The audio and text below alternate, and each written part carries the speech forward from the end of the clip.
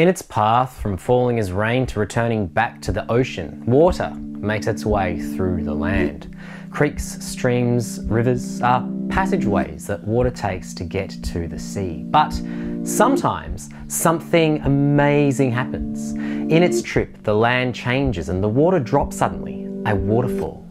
Humans love waterfalls. They are often tourist attractions because of their beauty, and it's very common to see them in works of art and on calendars. You might think of waterfalls as these tranquil, calm features of a landscape, but really, Waterfalls are really cool and noisy. But what are waterfalls and how are waterfalls formed? Today, we're going to talk about it.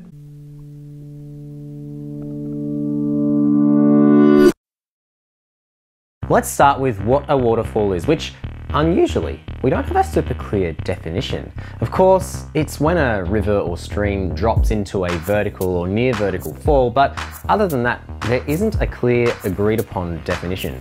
Waterfalls are geological features. They are parts of the environment and many geological features have their own area of study dedicated to them. The study of rivers, for example, is potamology and the study of marshes and wetlands is telmatology. The study of lentic systems, including lakes, is limnology, but there is no specific field for studying waterfalls. So when it comes to the definitions and classifications, there is a lack of agreement for the terminology that we use, but that's not the focus of this video. Waterfalls can take many different shapes and sizes and well, structures. Waterfall enthusiasts have words for different kinds of waterfalls such as plunges, fans, blocks, tiered, horsetails, segmented, ribbons, chutes and slides. But for the bigger question of today, how are waterfalls formed? How does a river or stream stop running on a gentle downhill and become a waterfall? Water while it might seem soft and smooth and that it'll just flow over something easily, well, I suppose it will. But if there's enough water and enough time, it begins to shape the landscape. When rain hits the earth, it causes an impact and can cause very small particles of stone or soil to be broken off and transported with the water as it moves downhill towards the ocean. As water gains speed and gains aggregate, aggregate being these tiny bits of soil and stone it gains kinetic energy, which is the energy something has as it's in motion. The water itself will over time cause rock to be worn away, but the aggregate in the water helps along the way. Some materials erode faster than others. Soil and sand are very easy to erode as water basically washes it away. Softer stones such as sandstone or limestone are also more susceptible to erosion and harder stones such as granite take a lot more time and energy to erode.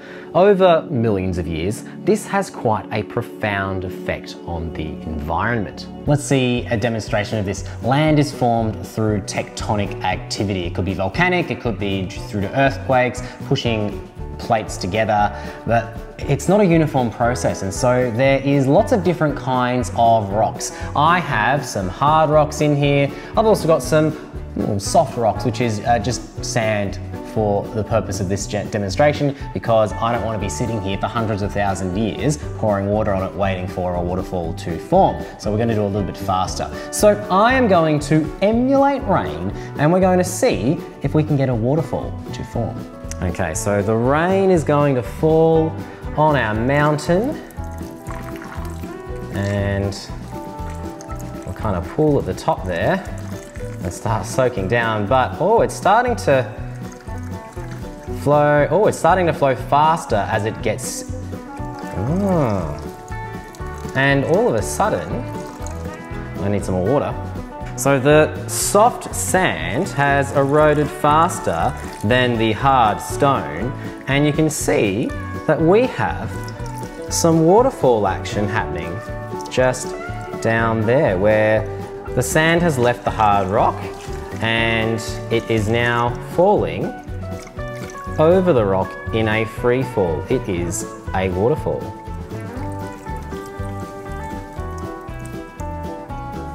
There we go. It's pretty cool. So as it rained on our mountain, we saw that the soft rock, or the sand today, flowed over, it eroded faster over the hard rock, which is still pretty well in place. And as it did this, it started to erode faster. The slope started to get steeper and we formed a waterfall.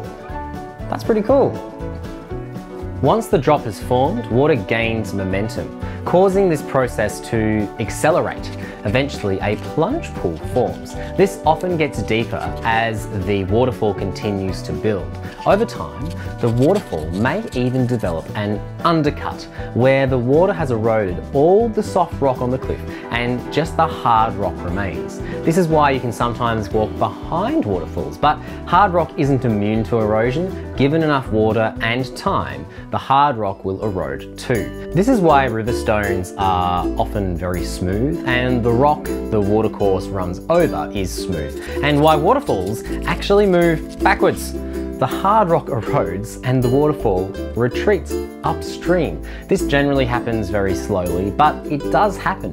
Niagara Falls, for example, retreats between 30 and 40 centimeters a year, and it's much slower now than it was. It wasn't that long ago when it moved backwards a metre per year. Lots of fast moving water has lots of momentum and force and erodes things more quickly. So, because the land itself isn't uniform, and the rocks and soil that make up the land vary in hardness over time, waterfalls form. And it results in the beautiful sights that we see today. But these sights are always changing. Waterfalls aren't fixed things. As erosion occurs, the watercourse changes. The waterfall moves. The plunge pools get deeper.